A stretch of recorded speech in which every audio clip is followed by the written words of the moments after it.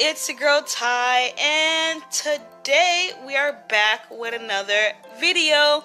Now, didn't post yesterday because you know your girl turned 18.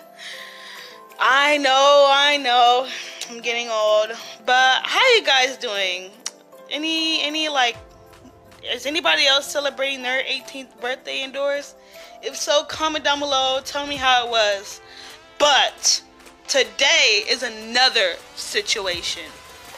The idiots are back, okay? The idiots of the internet. And you won't believe the stuff I have found on the web, okay? You know what? I'm not even gonna waste any more time. We just gotta get this over with. It's a girl Ty, and today we are back with another video, okay? Now, good news, everybody. Your girl hit 60 subscribers. Oh my goodness, I'm becoming famous. PewDiePie, stop quaking. Um, yeah, thanks for everything, for helping me out and, you know, getting me on this, like, getting me started on this journey. Because, like, your girl finna be famous. Just kidding. No, I'm not. I'm not gonna be famous. Anyway, um, so today's video we are gonna be reacting to. It's not a scary video, but it's like natural disaster scary. Now the video is titled.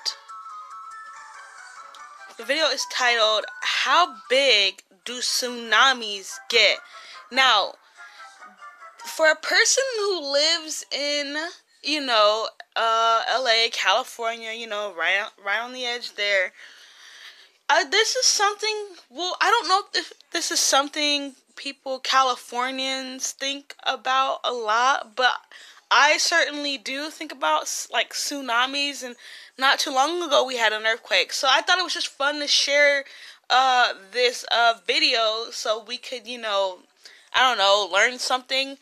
Uh, if you're not already subscribed don't you go ahead and subscribe. And this channel is by the Real Life Lore. Now, he's basically a channel who, uh, like, it's like it's a very educational channel that, like, basically explains, like, natural disasters and, you know, it breaks down things. It's, I think you should go subscribe. I'll leave the, um, channel link in the description below, but let's just get to it.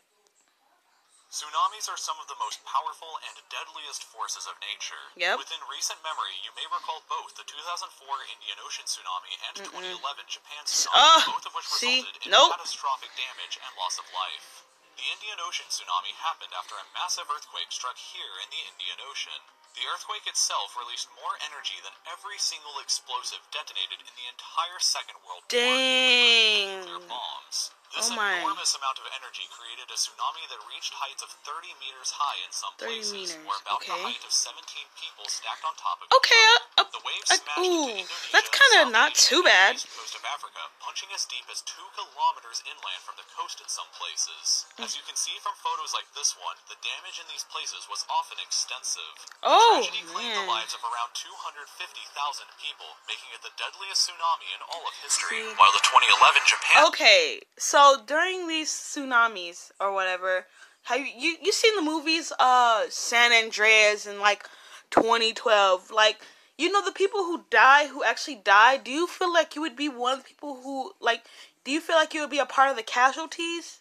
Tsunami Like, and what would you do to in terms of survive? Like, what would y'all do? tsunami was also generated by an earthquake that created waves as high as 40.5 See, meters, California, we have five earthquakes. meters shorter than the Statue of Liberty, that Oh, came okay. slamming into the Japanese east coast, traveling up to 10 kilometers inland away from the coast. As you can see from photos like this that look like something straight out of Hollywood Okay, so yeah, to that's a lot of water. into the endless ocean, the economic cost to Japan was enormous. I wouldn't worry about the cost. I would worry about the cost of people's than the lives. entire GDP of South Africa.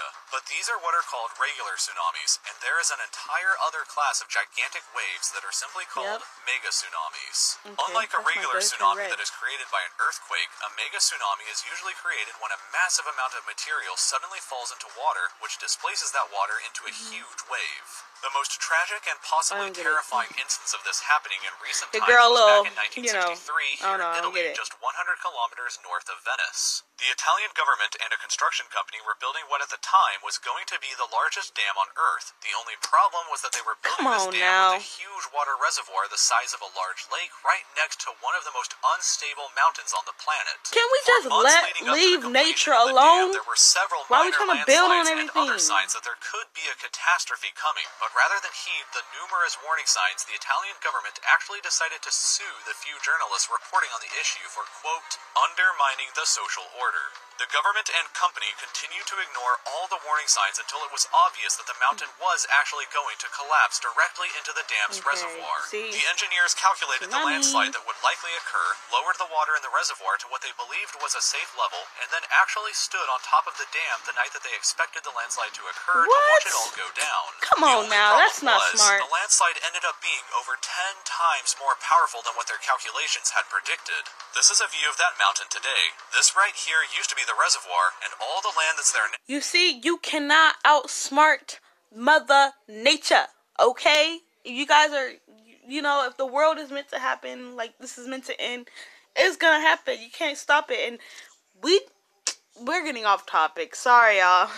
now came crashing off the mountain from these areas that are now exposed white rock. Do y'all really care about this part, or do you want me to skip fell ahead, into like, the to reservoir where, in you a know, matter we of see San seconds, Andreas? completely filled the entire reservoir and generated a wave 250 meters high that flew over the top Yep. of the dam and into the Like- villages below. The wave was almost the same height as the Transamerica building in San Francisco for some reference, and caused an impact crater 60 meters deep and 80 meters wide when it Oh, slammed into the ground on the other side of the dam. If you were standing from this angle looking up at the dam at the exact moment that the wave came over it, the entire sky that you see in this picture would be completely covered by water. This You know what? I in the wouldn't town even- of Longarone, which before the mega I wouldn't even try to run. I would just die because like there's no way I'm outrunning those fa- that fast water. Like there's no way. Tsunami looked like this, but afterwards looked like this, completely destroyed. Yep. Around 2,000 people lost their lives in the accident, Oh, but it's not that's actually not the largest bad. mega tsunami even in recent history. That distinction would have to go to a mega tsunami that happened here in Lituya Bay, Alaska back in 1958. A powerful earthquake caused a massive landslide to occur here at the backside of the bay. The Okay, now that I feel like now that we have um our view of a tsunami, we need to know how we're gonna survive a tsunami. Okay, so you know what? Let's just go to a video that basically tells us how to survive San Andreas. All Californians, listen up because y'all we gotta take notes. We overdue. So okay, okay. This is how to survive a tsunami according to science. Take notes, y'all, cause you know You're I'm about to save your life. not a worry in the world. The sun bronzing your skin, sand trickling between your toes, the sound of waves. Wait, what? Mm-hmm. Where did all the water go? Did you see it going out? Oh, Better act quickly. no. In a matter of minutes, you may be underwater. Here's how to survive a tsunami according to science. Tsunamis are triggered by intense underwater activity, Yeah. usually an earthquake or an underwater volcanic eruption. got These events displace huge volumes of water, pushing it up from the ocean's floor to its surface. But when gravity pulls it back down, all this built up energy is released outwards, forming deadly waves that grow stronger as they ripple across the ocean. A tsunami's waves can be 100 kilometers long and sometimes taller than 30 meters. uh-uh, no. Can travel across See y'all, that oceans, moving at the speed of a jet airplane. So with such speed, strength, and stamina, how does anyone stand a chance? exactly. How to Even in a tsunami hazard zone, you can still survive if you know what to do. The first step to survival is to be able to identify the Okay, y'all, early take signs of a notes. tsunami. The Pacific Ocean is home to volatile tectonic activity, which explains why seven and that is why California, the, the Pacific Ocean, yeah, we're there. So I don't want to hear y'all saying, "Oh, it would be less likely to happen," blah blah blah. Because when it does happen, I'm gonna be, y'all welcome. You're welcome. 95% of the world's volcanic eruptions and 90% of the world's earthquakes occur in the Pacific. Exactly, These we're geological there. disturbances are the reason why 85% of all tsunamis happen in the Pacific Ocean. In most cases, Oh an gosh, you guys earthquake comes me before a tsunami. So, if you're near the coast and you experience an earthquake, protect yourself from that 1st Mm-hmm. But once the shaking stops, move to higher ground as quickly as possible. The beach will grow bigger. Run the other way. An early sign of an impending tsunami is that the water along the coast will recede. It pulls back and exposes the seafloor. Do But not how go far to the beach to investigate. though? You'll only be putting yourself at risk for when the water surges back. Instead, head in the opposite direction. Try to get as far as three and a half kilometers from the ocean, or 30 meters above sea level to ensure your safety. Mm-hmm. Get to the highest elevation possible. Tsunamis travel quickly, and you may not have enough time See, to look, clear the imagine that coming at y'all. What would y'all do? For a tall building with a sturdy concrete foundation. If you see one nearby, run inside and get to the roof as quickly as possible. If you can't make it to a building in time, your best bet is to grab onto something and hold on.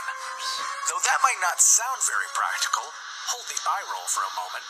In the 2004 Indian Ocean tsunami, an Indonesian woman was finally rescued after holding onto a palm tree for five days straight. While Dang. it isn't ideal, That's the lore right there. That is the lore right there. to find something to hold on to. As the tsunami moves inland, it will sweep tons of debris along with it. This can be very dangerous as the accumulation of debris traveling at high That's speeds real footage? become fatal obstacles for anyone who's caught in the current. However, many Yeah, that's real footage, y'all. This is like real footage. onto detached roofs or holding on tightly to floating cars or other large objects. Of course, if you've made it this far, your troubles aren't over yet. Oh God, really? Isn't one wave, but a series of waves known as a tsunami wave train. Waves may be anywhere from five minutes apart to an hour apart. And be aware that the first wave that hits isn't always the strongest. So even when you If it think couldn't it's get over, any worse, Mother Nature was like, "Hold my wig." officials. Like, come on now. It goes without saying, tsunamis are terrifying. And when a 30 meter wave is hurtling towards you at 800 kilometers per hour, you're probably feeling pretty helpless. Yep, But have faith in science, trust empirical research, and you'll see there's always a way out. Well, oh my goodness, that is crazy because I live right there, you know, the Pacific Ocean. You can go to the beach right now. I actually got like some stuff to go to the beach, and now this has got me like, you know, irritated, paranoid.